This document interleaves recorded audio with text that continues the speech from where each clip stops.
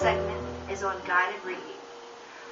My guided reading area is a time where I spend a lot of time. So, one of the things that is important is where you decide to put it. Make sure that your back is to the wall so you do not have unsupervised children behind you. If you have access to a kidney-shaped table, I highly recommend it. You can get to each of your students with ease. A rolly chair for your guided reading, your guided reading area is also another excellent idea.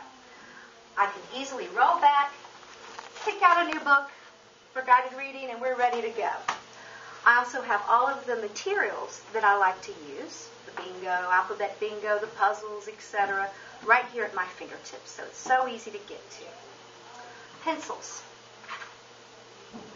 in a basket. Grab it, put it down. All of my flashcards if I feel like doing a review of a game with a game in here. Scissors, colored pencils, crayons, right here. One little roll away. Bam. Here you go, children.